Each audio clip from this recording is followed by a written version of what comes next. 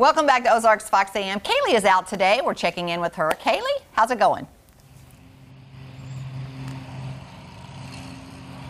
All across the country, ballots are pulling in. Uh, according to a new Associate Press NORC poll, of those eligible to vote, 54% say they will do it before Election Day. And the number is up from 2016 election, where 42% voted early. But how people cast their ballot that is up for debate. Debate today. I'm joined by Greene County Clerk Shane Schoeller. Thank you so much for being hey, here today. We're glad you're here. Uh, first question, then we're going to get right to it. Yes. Is mail-in ballots are those safe and are they reliable?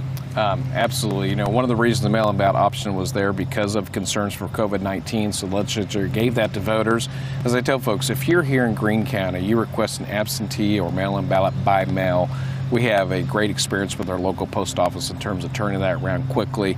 If you're outside of the state of Missouri, again, once you get that ballot, you need to turn around, get that filled out, mail it back to us as quickly as possible.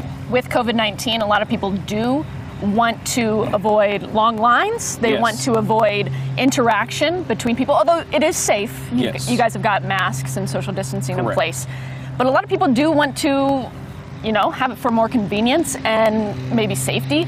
Uh, for those mail in ballots, you've got to have them requested by the 21st of October. That's right. Absentee or mail-in ballots have to be requested by October 21st. We're encouraging people don't wait till then. If you know you're going to do that, go ahead and request now. And I would even encourage you a week ahead of the 21st. Right, and uh, they are due by Election Day, November 3rd. That's right. But maybe you want to send those seven business days ahead or before. That's correct. You know, again, you want to get it back in the mail as quickly as possible. Even here locally, we recommend no less than seven business days out just to make sure there's plenty of time for your ballot to arrive in our office by 7 p.m. election night. And if you're looking for convenience, but you still want to do in person voting, you guys have got plenty of options.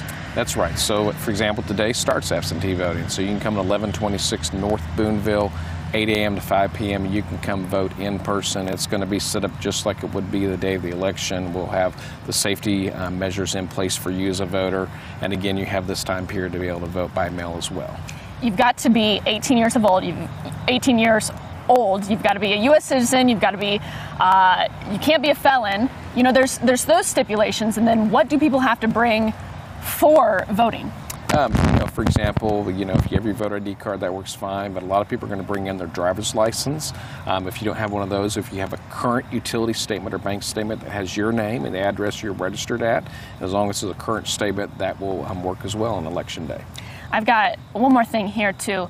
There is the first televised debate between President Donald Trump and former Vice President Joe Biden. Do you think that debate will change anyone's perspective of of their vote? I think that's always important for people to hear from both candidates, especially those who may not identify by a party. They're going to get an opportunity to hear the vision that's cast by both candidates, and so that's always important. I think we typically call that the swing voter, and so I certainly see some voters are going to listen to both candidates, and that could change their mind. Voting early is key. You can do that today. Uh, give us that address again. Again, 1126 North Boonville, so just right north of the historic courthouse. All right. Voting is underway. Guys, back to you. All right. Yes, and we'll be having special voting coverage all day long here on Fox and on KOLR 10. Mm-hmm. Uh, lots of reporters out covering. You know, it's important. And by the way, guys, we ain't telling you how to vote. No, we're not. We're When just we- saying vote. Yeah, when Yeah. we, we say it's important to vote, we don't Yeah. have an agenda with that. I mean, Yeah. Of course, we everybody's got their own thing. Remember when nobody talked about who they were voting for? Remember for? the good old days, Remember the- Kelly?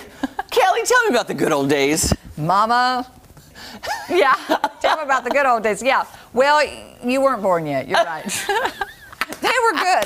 I was playing football in the backyard with the boys, and one day I was a cheerleader, one day I was a football player. There you go. Yeah, I had a great time. I wasn't indoors at Yeah. all. Loved it. That's fun. You know what else I just realized too, Kel? What? We're wearing white after Labor Day. Who cares? That's what I say. I don't care. Forget the fashion rules. Who did I talk to about the other day? And honestly, um, you know, I bought a jacket the other day that is, it's like warm. It's like a warm fabric, and Mm-hmm. it's straight on white. They, yeah, you can do that. Straight on white. I mean, I'm just saying. Yeah. Yeah, you can wear white anytime you want. yeah, we, we really don't care about You the can fashion wear rules. unmatching socks if you want. Uh, I'm not Start today. trend. I could. Yeah. Wh- Why is it inappropriate to wear white socks with black shoes? Michael Jackson did it.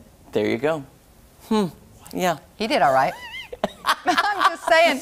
By the way, speaking of Michael Jackson, Yeah. coming up later in the show, I'm taking you to Beyond the Lens in Branson. Oh, I can't wait to go. There's a Michael Jackson section Mm-hmm. that will startle you. It. what? I, Really? I can't say anything because I want you to be right. surprised when you go. But oh my gosh, it it literally made me jump and scream. Let's go to Branson and have some fun. Oh my gosh, I yeah. well, I don't know if we can talk about it yet, but we are going to Branson in the future Yeah, we are. in a couple weeks. Yeah. But we can't say anything more. we like more. to hang on a cliff there. We'll, we'll tell you soon. We're gonna hang on a cliff. We like hanging them on a Oh, cliff there. I was like, Kelly, it's a I told you. cliffhanger. It's a cliffhanger. I was like, Kelly, I'm not cliff diving again. No, we're I not won't doing do that. it.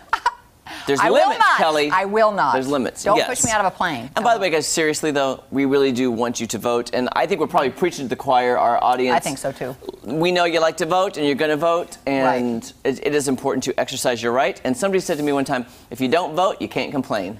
Yeah, and I, I've talked to some people that have said that they're so discouraged that they don't want to vote. And to me, I just don't really, I don't know.